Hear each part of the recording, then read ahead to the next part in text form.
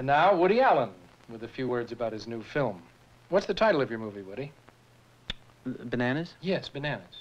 Uh, the name of the movie is is uh, Bananas. Bananas, bananas. What part do you play in the movie? I play the part of uh, Fielding Mellish, who is a, uh, a, a tester of products at a small company in New York. We can show you how to turn it out. We can show you how you can save money on a cost basis.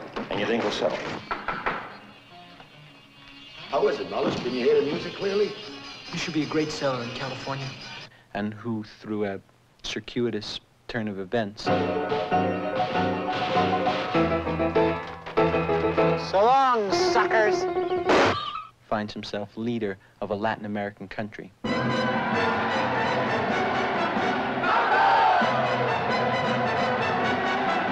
I am Mr. Hernandez, the official interpreter. Welcome to the United States. Welcome to United States. Thank you. Thank you. We're here to see that your safety is insured. We'll act as your shield in the event of trouble. We missed him.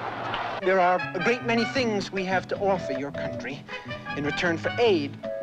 Few people realize that we lead the world in hernias. Same person, all right. This man is attempting the overthrow of the United States government from without and within. All right. Let's pick him up. Fielding Mellish goes on trial tomorrow for fraud, conspiracy to overthrow the government, and using the word thighs in mixed company. Who else is in the film, Bananas?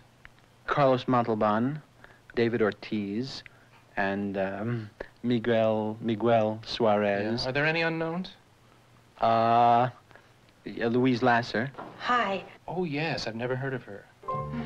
I love you. I love you. Oh, say it in French. Oh, please say it in French. I don't know French. Oh, please.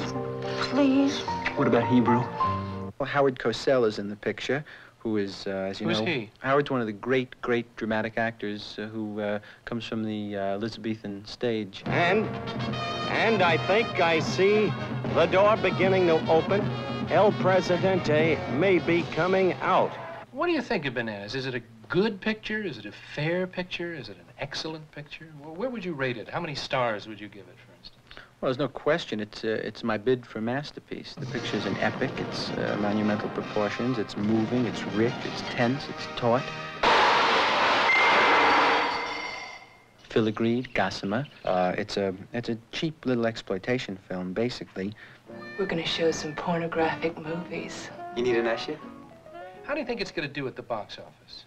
Well, we have a very interesting plan. We're going to let people in uh, all over the country for nothing and then charge them to get out. Fire!